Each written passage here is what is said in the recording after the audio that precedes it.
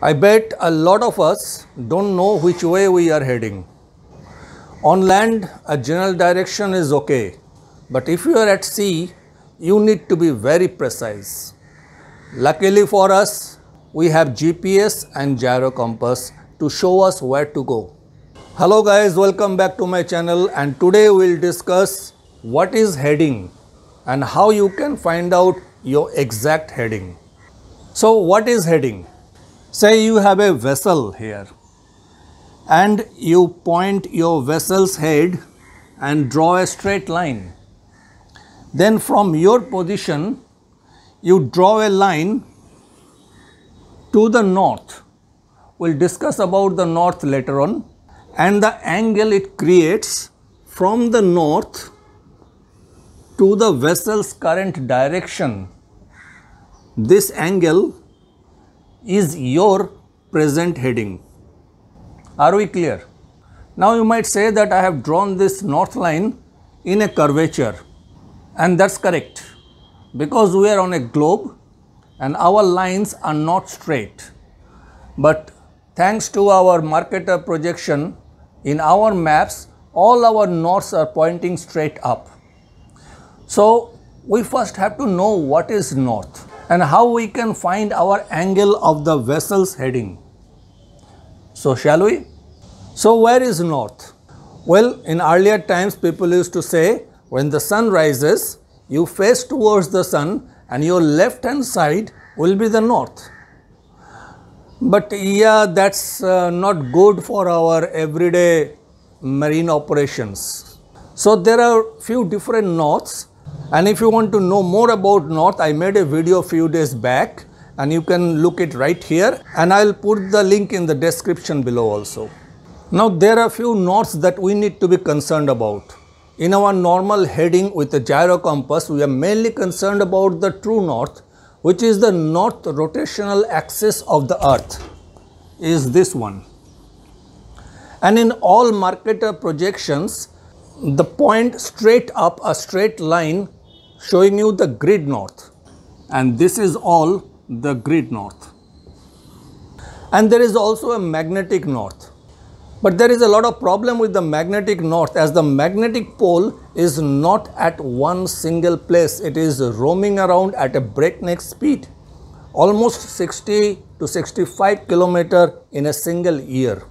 But here for this video, we are mainly concerned about the true north and the grid north. So the question is how we can define what is our heading? How do we measure the angle with reference to the true north? So let me show you here. Suppose this is the true north and this is your vessel's heading but you don't know which way the heading is. Your gyro compass may be showing you a direction but you don't know whether the direction is correct or not. So how do you measure this angle? Well, for that you need to have a, a reference azimuth or a reference angle to a position or a point either on earth or beyond and whose angle, whose azimuth with reference to true north you already know and we will come back to that a little later. But before we come back to that, we must know what can, what are the main factors that can cause our heading to go bad. Okay, to find our exact heading, the very first thing we need to take care about is the alignment error. The alignment error is the error between the angle of your vessel's fore and aft line and your gyros fore and aft line. Suppose in a vessel, if this is vessel's fore and aft line and you put your gyro not exactly aligned with the vessel's fore and aft line and this is your gyro, the way the gyro is heading. So, this angle becomes your alignment error. So, this is the very first thing that you need to take care of is the alignment error. The main thing that you need to take care about that you have to determine the vessel's fore and aft line and then try your best to put your gyro compass as close to this line as possible. Okay. Okay, the point number two is we need to align our vessel's gyro exactly with a reference azimuth because the azimuth is the angle from the true north. So we need to know where is the reference azimuth and we need to measure the angle from that reference azimuth to know if there is any azimuth error into our gyro compass or not. So how do we do it? And today in this video we will be discussing more about how we can easily find the azimuth angle from a reference azimuth and we can correct our gyro. The most common way we surveyors do in the marine is to take a sun azimuth or the sun angle. So how does that work out? Let's say early in the morning the sun is somewhere here near the horizon and this is your vessels and this is your vessel's fore and aft line. You determine your position on the vessel first and then you measure the angle to the sun you measure this angle, let's say this angle is A. With the help of a sextant, you can easily measure this angle and you know your position. So you have two kinds of data. One is a position and one is an angle, but you need another data that is called time. So at exactly what time at exactly what position you have measured this angle that is very important. Time is very important. Okay? Now there are some websites which i will show you later and i will also put the link below where you can go and find the sun's azimuth the exact azimuth of the sun with reference to the true north. Okay? Suppose this is the true north and you have found the angle of the sun's azimuth to be angle B. So at an exact time of your observation, you find out the angle of the sun's azimuth at exactly in your position. Okay? The sun's azimuth will vary depending on the time and the position. So you have to find out the sun's azimuth exactly and you have measured the angle from the vessel's bow to the sun. So now I have the full data to find out what is my heading to be exact. So what you do actually when you are taking this observation you have to synchronize your clock, you have to start logging your heading and then you have to go and measure the angle to the sun. So with this data suppose the sun's azimuth that we have found is to be 89 degree okay? And the angle that you have measured this angle A is found to be 45 degree okay? You have to measure the angle as precisely as you can. So what will be the heading? That will be B angle minus A angle so that is 89 degree minus 45 degree is equal to 44 degree. So your heading, your azimuth of your vessel's fore and aft line should be 44 degree. But you are logging your gyro compass, right? If you are logging your gyro compass, you found that your gyro compass is showing 46 degree that means your gyro compass is showing 2 degrees high. So you apply that correction minus 2 degree. You apply that correction to your gyro compass and that's how you can find your exact heading. So some of you might ask where you can get the sun azimuth. So here is the website. I'll put the link in the description below. You can directly go there online and fill up certain parameters and then you can get your solar azimuth. Now you may say that you may not have access to the internet to go to this site to download the solar azimuth and there is an offline excel file also and if you scroll down you can find the excel file you can download the excel file and you can offline calculate what will be the solar azimuth. So let's go and see that. So this is one of the best site to find the solar azimuth. You go to this noaa.gov site. Here you can find the map of the world. Click on the world cities. Come down below fill up your latitude longitude in decimal of degrees. So I'm going to do that now for an Indian city 20 degree. And your longitude is 73 decimal 5 then fill up the time zone which will be Asia. So I'll go down Asia and Calcutta and you can check the UTC offset also which is 530 you select the date for which you need the azimuth. Suppose it is today. And what time you actually did the observation? So I feed the local time 07 hours 30 and that is AM and then I can see the result here and at the last column you can see the azimuth and elevation in local time. So at exactly this time in exactly this position in latitude longitude the sun azimuth was 69.64 degrees. So you have to be little bit careful while doing a sun observation use proper filters or glasses and never do a observation when the sun is more than 15 degree above the horizon. If you are interested in doing your own calculations, you can go here solar, solar calculation details page. From here you can download the day one Microsoft Excel. If you do not have a Microsoft Excel, you can download it for the open office. So click and download the NOAA Solar Calculation Day XLS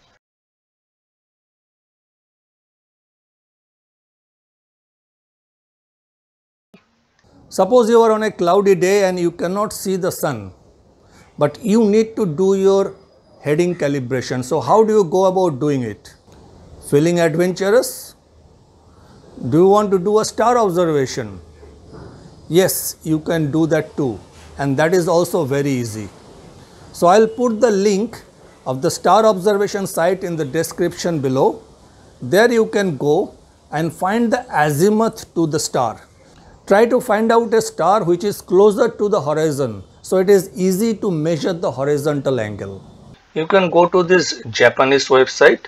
Here you have to select a major star. Please make sure that the star is very close to the horizon. So select the Polaris or select the relevant star which will be easy for you to identify and do the observation. Select the date of the observation and then select the time of observation.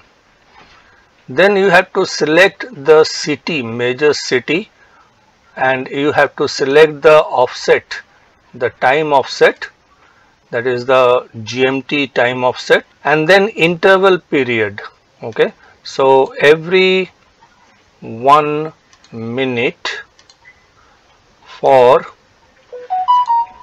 one hours okay and option refraction yes I'll select it. And degree minute second or I can say decimal of degrees it will give me the data. And then I will simply click go. And here you will find the azimuth of the particular star. Okay, now that we got our head around doing the sun observation and star observation, here is few methods that we normally do not use, we forgot how to use our common sense. Suppose you do not see the sun and you do not see the star. So how you go and do your heading calibration? Suppose you are navigating very close to a shore or very close to an oil field.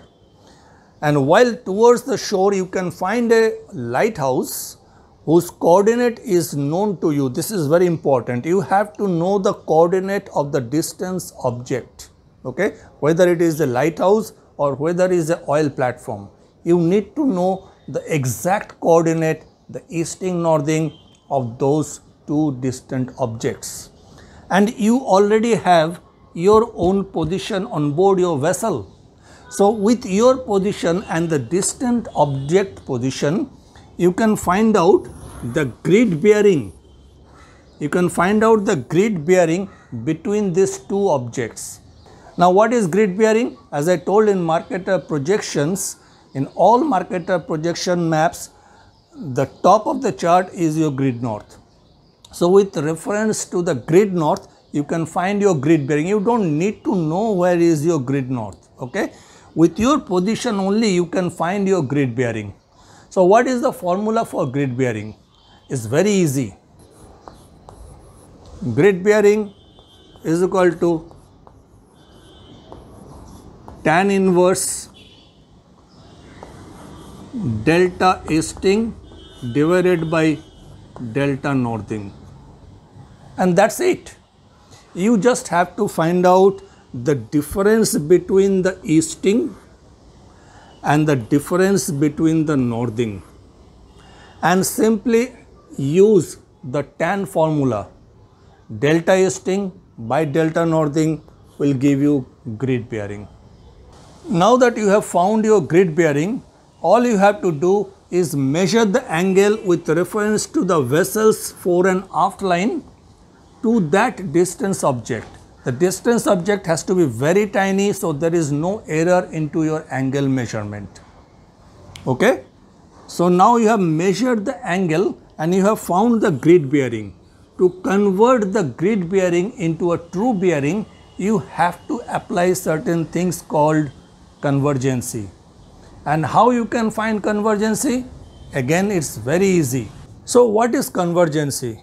Convergency is the angle between the true north and the grid north. And how do you find it? CA convergency angle is equal to tan inverse in bracket tan of longitude minus longitude at central meridian multiplied by sine of latitude. So, convergency angle is equal to tan inverse this full thing is within a bracket tan of longitude minus longitude of the central meridian multiplied by sine of latitude. So as of now, we have measured the grid bearing and the convergency from my position to a distant lighthouse. So as soon as we get it, this line becomes azimuth.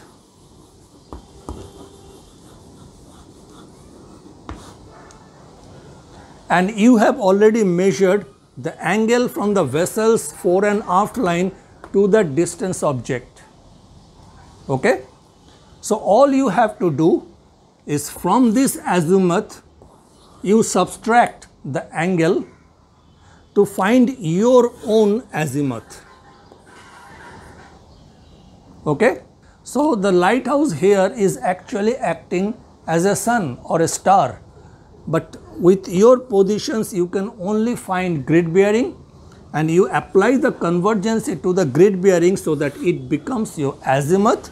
You measure the angle from your vessel's fore and aft line and you subtract your angle from the azimuth to get your vessel's true heading. So friends, I hope we learned something today.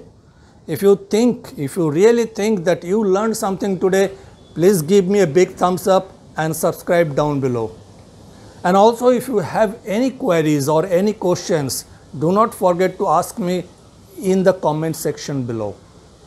I'll see you again in the next video.